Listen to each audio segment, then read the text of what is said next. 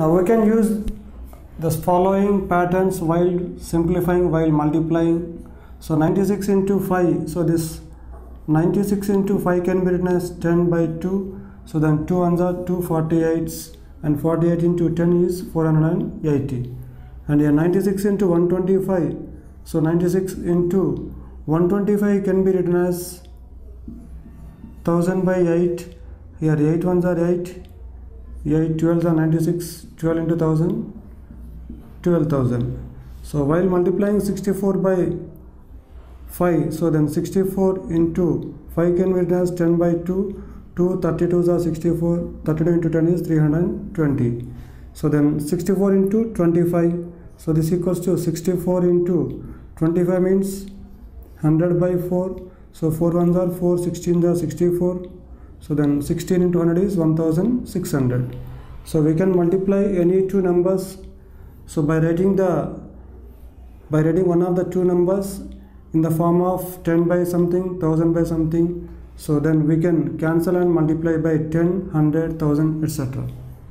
Now let us see the questions now. Which of the of the first question, which of the following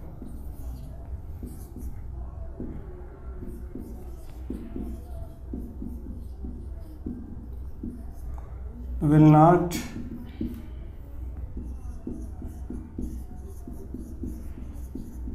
represent 0 the first option is 1 plus 0 so this equals to 1 will not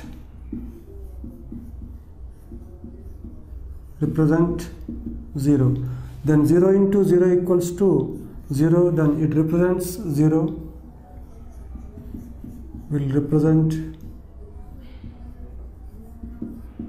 0 then 0 divided by 2 also 0 so this will represent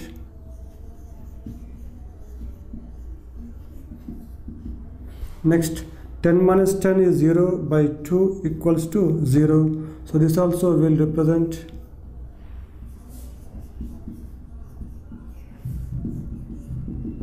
zero. The next question study the following pattern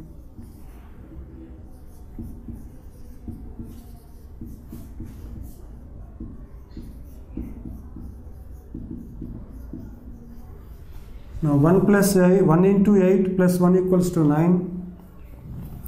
12 into 8 plus 2 equals to 98. 123 into 8 plus 3 equals to 987. So then write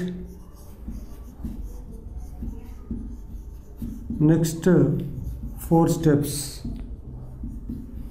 So the next step is 1, 2, 3, 4 into 8 plus 4 equals to 9876 the next one is 1 2 3 4 5 into 8 plus 5 equals to 98765 the next step is 1 2 3 4 5 6 into 8 plus 6 equals to 98765 the next step is 1 2 3 4 5 6 7 into 8 plus 7 equals to 9876543 so this is the pattern observed in the so in the first step 1 into 8 plus 1 equals to 9 and in the second step so 2 is increased means 12 then it is multiplied by 8 and 2 is added. Then we get 9 decreased by 8 so that is 98 in the third step we have taken first three digits 1 2 3 multiplied by 8 plus 3 the number of digits then we got the three numbers in the descending order 987 so we can continue the same pattern for any step. Now let us see the next question. Find the following.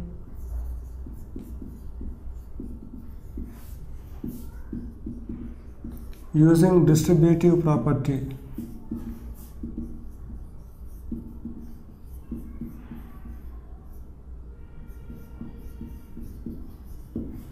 the first question is 728 into 101 So this equals to 728 into 101 can be written as 100 plus 1. So if we use distributive property, here we can write 728 multiplied by 100 and 728 multiplied by 1. So then 728 into 100 plus 728 into 1. So this equals to 728 two zeros plus 728 1 the 728. Now this equals to 0 plus 8 8 0 plus 2 2 and 8 plus 7 15 1 plus 2 3 and 7 73528 the next question 5437 is multiplied by 1001 so here also we can write 5437 into 1001 can be written as 1000 plus 1 so here also we can use distributive property. So 5437 is multiplied by 1000 and multiplied by 1 so then we get 5437 into 1000 plus 5437 into 1 so this equals to 5437 so there are three zeros plus 5437 so 5437 three zeros then 5437 yeah 0 plus 7 7 0 plus 3 3 0 plus 4 4 7 plus 5 12 3 plus 1 4 4 and 5 so 54 lakh 42437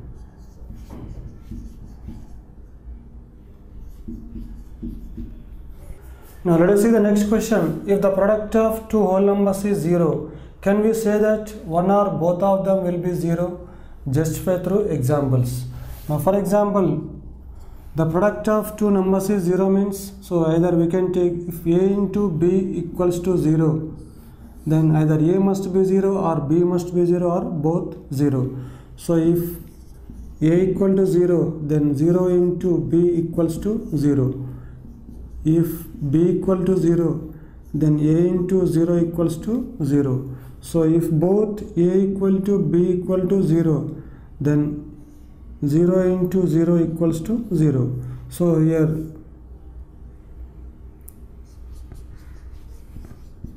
either one or both of the numbers will be 0 if the product of the two numbers is 0 then either one or both of the numbers will be 0 now the next question if the product of two whole numbers if the product of two whole numbers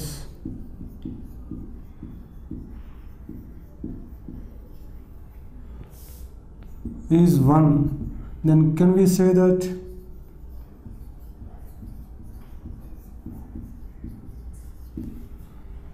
one or both of them.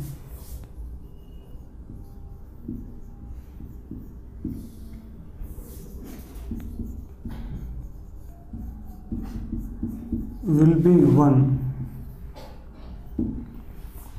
now the product of the two numbers is 1 so then if a into b equals to 1 so then if a equals to 1 then 1 into b equals to b but you are not getting the product 1 so if b equals to 1 then we get a into 1 equals to a but not 1 if both a equal to b equals to 1 then 1 into 1 equals to 1 so then both of the numbers will be 1 if the product of the two whole numbers is 1 then the both of the numbers will be 1 If you like this video, please give a thumbs up. Please subscribe to our channel to get more videos on CBSE syllabus.